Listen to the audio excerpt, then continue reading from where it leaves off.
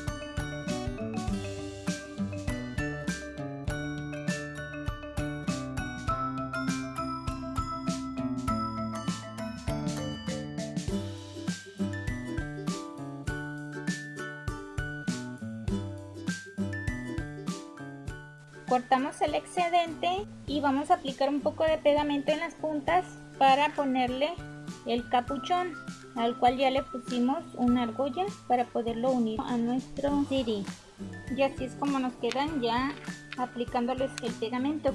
Antes de recortar nuestro CD vamos a pintarlo ya sea con pintura acrílica como aquí o con pintura de uñas como en este caso para poderlo cortar y utilizarlo sin que se nos desprenda la laminita que le da este brillo del CD. Una vez que ya estén perfectamente secos ya procederemos a cortarlos y darle la forma que nosotros necesitemos.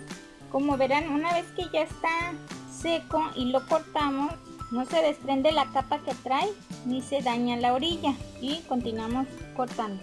Ya que los tenemos recortados de la forma que queremos, vamos a hacerle estos orificios con la supervisión de un adulto o su ayuda, vamos a hacer estos orificios utilizando un clavo y unas pinzas para calentarlo, para sujetar el clavo mientras lo calentamos y poder hacer estas perforaciones sin que se nos dañe nuestro pedacito de cilindro.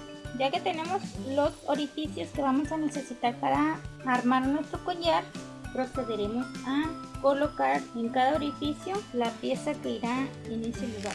En este caso voy a poner dos cadenas y nuestro tejido con nuestra agujeta. Y así es como nos queda ya nuestro collar terminado.